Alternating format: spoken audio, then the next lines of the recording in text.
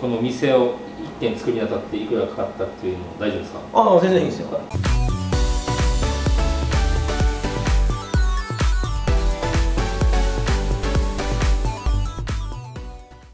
はいさい、ションチューチューは日の丸です。石垣島のことは俺に任せろ。なんでこの格好をしてるかとい。うと、今日ですね、こちらのね、シシロ焼肉屋さんにお邪魔してるんですけども、こちらのね、韓国ルームっていうのがあるんですよ。なのでね、ちょっと韓国で流行ってるイカゲームを意識してこの衣装で来ました。で、今回ですね、こちらの焼肉屋さんがどうやってできたのか、こちらのオーナーさんからいろいろ話聞けるということなので、今日はこちらでいろいろ聞いていきたいと思います。はい、じゃあ株式会社一番の力代表取締役、えー、永原さんです。よろしくお願いします。お願いします前回ねこちらのオープニングでちょっとイベントで呼んでもらってお友達になったんですけどもその時にちょっと取材依頼をねして石垣でお店を出すにはどんな感じなのかちょっと詳しく聞きたいんですけどいいですか？って相談したところですね。快諾ですね。はい。快諾です。全然大丈夫です。はい。はい、もう本当に何でも聞いていいよって言うんで、い。やっぱ石垣って注目されてると思うんですよ。あなのでやっぱいろんな人が僕も物件ないかとか聞かれててで実際お店作るのに金がかかるお金がかかると思うんで、その辺をちょっと聞けて、まあ、YouTube 見てるまた他の会社の方や石焼でちょっとお店出したいなと思ってる方の参考になれば本当にいいなと思ってるのでもちろん。今日はよろしくお願い。します何でも聞いてください。何でもいいですか？何でも大丈夫。何でも大丈夫。はい、お金の話はあの最後にちょっと聞きたいと思うのでまずはですねもともとはお大阪ですか？そうですね。大阪で飲食店を何店舗ですか？大阪で4店舗と東京代々木と、はい。でこの石垣入れてあ6店舗あ6店舗ですね、はいこれも石垣に出店しようと思ったきっかけとかあるんですか？なぜ石垣で？あのもともと石垣で、えっと私がプロデュースしてる店があってはい。でその店が、まあ、結構売り上げ上げてたんであでまあずーっとそのコロナ禍の最低の売り上げも見ててはい。これは石垣すごいなっていうのが。最低売り上げ見てそれでもいけるっていう。最低でもまあもういけるっていうのででもう今やなっていう。出せても賞賛があるなみたいな。そうそうそう。そう特にこのコロナでこの世の中の最低が見れたんで。ああそうこかう人が出ない、はいはい。観光客来ない、はみんな店閉めてる。そんな中でこれぐらいの売り上げが保てるっていうことは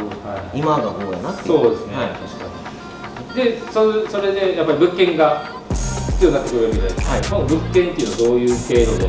それこそご存知だと思いますけど石垣ってネットで見ても絶対出てこない。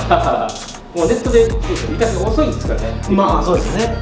もうまず飲食店の物件が出てこない、はでこう自分で探しに来て、えーこう要するに貸し出しってなってて電話しても飲食店がダメっていうのがほぼ100%はでよくよく聞くと結局なんか石垣の人って横のつながりでい、そうですね。必ず売買するというか、はいはい辞めるとなったら A さん辞めるとなったらはい。誰かやりますかって言ってあでしかもその譲渡金がなかなかの高額で。あ でもあそうですね、うん。石焼きそれがなんかそういう文文化というかそれが当たり前になって。うん。多分これ来年再来年もっとすごい価値のあるものになるんやろうなっていうことがはい。なんとなく分かってきてでじゃあたまたまこのここがはい。これ37坪あるんですよ。サジャズはまあでかいですね。で普通37坪そんなに行く根性みんなないから、はい。ここは空いてたんですね。あで計算してとんでもないお金かかるけどもし売るとなってもすごい価値のものだしっていうことで今回は結構あもう一応売るっていうことも考えてて。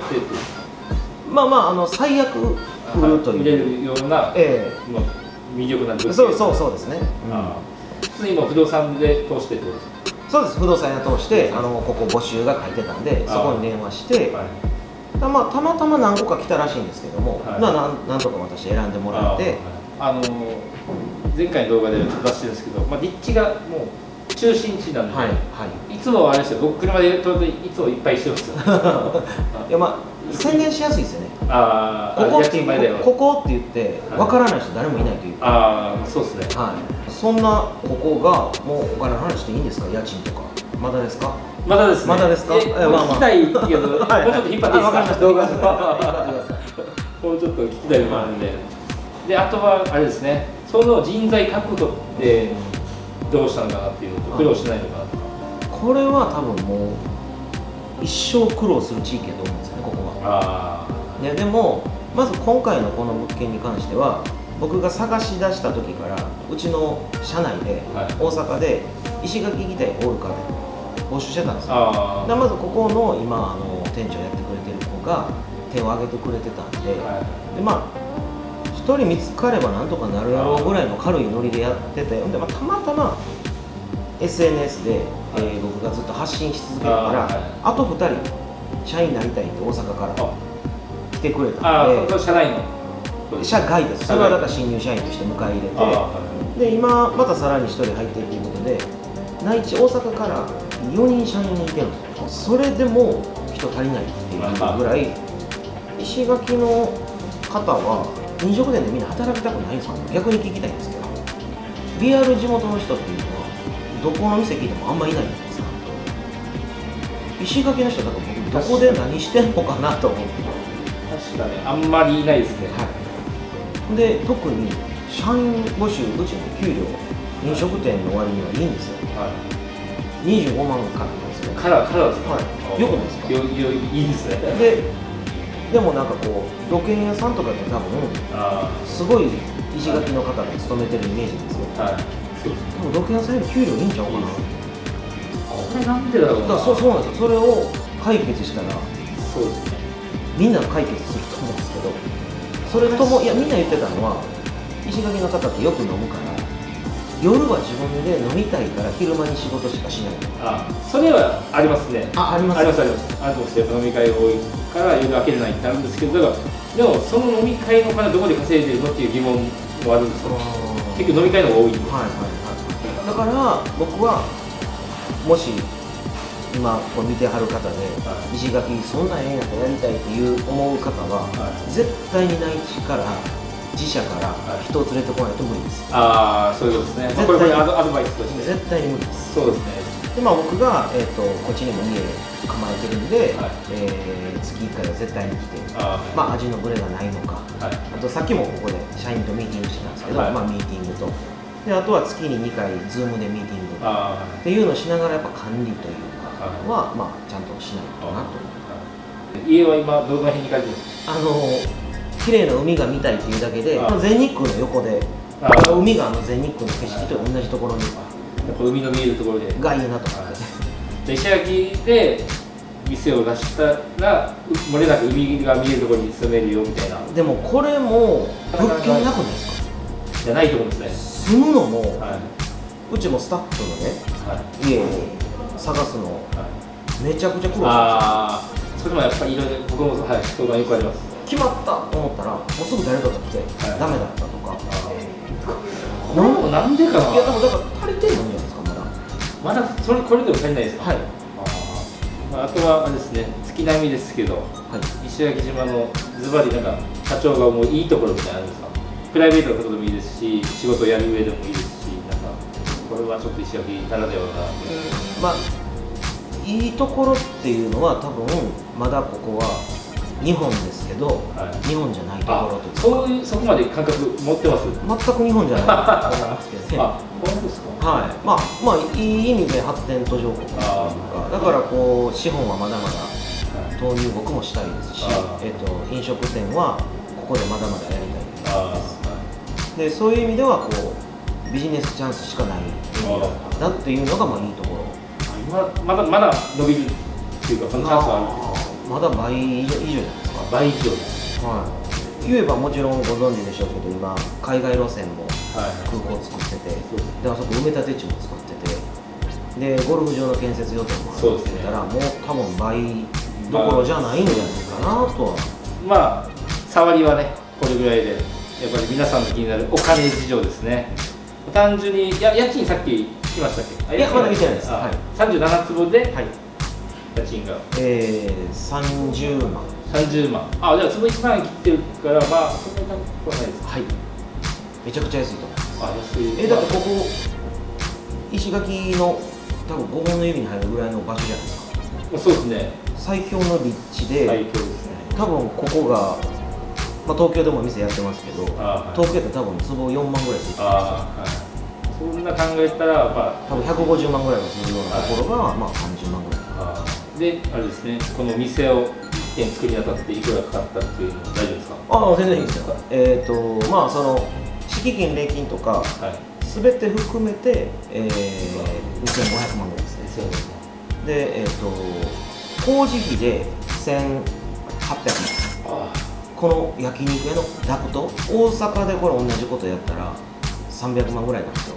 それが初めこっちの業者探したら1000万近く来たんでああ逆に高くしてきたってこと？いや全然石垣は高いですよ。相性が高い。高くて。ああはい。で大阪やったら300万ぐらいで終わるやろうなと思ったのが3倍ぐらい。ええ。でなんとかお願いして大阪の業者に来てもらったんですよ。ああはい。それでえ600万。あそれでも倍ですか？倍です。あねだからもし石垣ええんややりたいと思うんやったら1.5倍はあ想定してた方がいいあしでそれがあるからこそ多分売る時っはい。ていうのがもうあとんでもない価値で売るねじゃないですか。はい。これもカットになるのかもわかんないですけど沖伝だけが最悪ですね。えどういうことですいやいやここ動力が足りなくてかはい。で動力を引っ張ってくれっていう普通大阪とかやったら申請したらすぐ「はいいついつです」ってあ。分かるんですよね。は分からないんですよ。いわからないってどういうことですか？いやだからいつになってもいつ引っ張ってくれるっていう返事をくれないんですよ。あでどないなってんのって言ったら今係長で止まってますとか 課長まで行きましたとか なんかそんなのらりくらりとしてそれがね本当に約1ヶ月とかかかったんで、へでオープンがちょっとずれたんですよね。全てがお金ももちろん1.5倍ぐらいかかるっていうのと、はい。工期。後期も。工期もまあ1.5倍は遅くなるっていうことは想定内にしとかないと。ああえっ、と 9, 9月5日オープンでしたね。はい。9月5日オープンでははいい、ズバリあの売り上げとかはどんな感じですか？9月は、えーズバリ9月5日オープンして台風で1日休み。はい。で24日。で850ですね。850万。だからまあ普通にやってたら、まあ、1000万は。ああはいはい。まなかなかね家賃のが3%で抑えれるっていう。ですよねのは、技術がめちゃめちゃ安くなってますねはい、あ多分東京大阪ではなかなかないんじゃないですかあ今ももうい。い感じです90まあえっ、と次の翌月で750とかあでまあそれでもまだ 5%, すごいっすね。5%以下はいなんで、私は石垣は日八イレブンって言って2月8月11月がはもう魔の月だったんですよ。い、8月も？8月なぜかって観光にみんな出るんですよ。はい。観光が少なかったんですよ入ってくるのが。島の人が出るから、あ逆に8月は暇ってはい言われて、ではい。2月はまあ年明けで正月本からあはい。反動があるじゃないですか。はい。で11月忘年会前だからみんなが抑えようとしたんですけど、空港ができてまんべんな観光客が来るようになってうん。それがなくなったんですよ。だから僕がやってる時は2月は本当に入らないから閉めてる店ありましたよ。あ最後かな。最後にさっきと重なるんですけど、あうん。今後の石垣での出店計画っていうか展望みたいなのありますか？まああのまあこれはうちの会社の方針ですけど、はい。やっぱりこう人がいててやりたいっていう子がおればどんどん進出はします。あでちょっとこう今後は石垣にも貢献したいと思ってるんでちょっと郊外でちょっと離れたところでやりたい。まあ、石垣の不動産屋さん見てたら物件情報またおお願いします。はい。ということで今日本当にいろいろ聞かせてもらいました。でねこれをね見て、まあ、やっぱり石垣で出したいと思うのかちょっと慎重になったのかいろいろあると思うんですけどもぜひね僕の方はいろんな企業が進出してもらってちょっとなんか石垣のレベルを上げて石垣のね経済が豊かになればなと思ってますのでぜひ皆さんお待ちしております。で今日ねあのシロさんにいろんな本当にねもうお金の話も聞かせていただいたんで大阪と東京ですね。はい。にも店舗あるので、はい。これ見て参考になったなと思ったら近くのお店ぜひ寄っていただきたいと思います。そのお店のね概要はあの概要欄の方にリンク貼っておきますのでぜひチェックしてください。で何かじゃあ何かありますか？いやあのせっかくなんであのヒデオマンのはい。T シャツめっちゃおしゃれじゃないですか。あ、いいですはい。あ、着てます？あ着てます、着てます。せっかくコラボさせてもらったんで、あはい。年内。年内、はい。どうですか？お年内、えー、ヒデオマン T シャツもしくはロン T 着てご来店いただいたら、はい。えーなんかこうサービスさせてもらって。あ、ぜひ、えいいですか？いいですか？逆に逆に。はい。はい。あの、このね、YouTube を見て、石焼きにはい。まあ、観光で来て、じゃあ宍戸行ってみようと思ったらサービスが受けれるんでこの T シャツね石垣島のドン・キホーテで売ってますのでぜひドン・キホーテでお買い求めいただいて宍戸さんにそうですね。じゃあもうあのせっかく沖縄なんではい。ブルーシールのアイス。アイスをはい。その人数分人数分でいいですか、はいもちろん。誰か一人でも来てたらあ一人でもいいですか？来てたら皆さん全員に。ということでなんか特典までいただきましたんでぜひ皆さんよろしくお願いします。いやもう本当にありがとうございます。これで相談が多分僕のところにいっぱい来たらまだ個別にまだ。はいあのコンサルやってるんで。あコンサルまでじゃあつなげる感じでお願いします。大丈夫です。はいじゃあ今日は以上ですね。はいどうもありがとうございました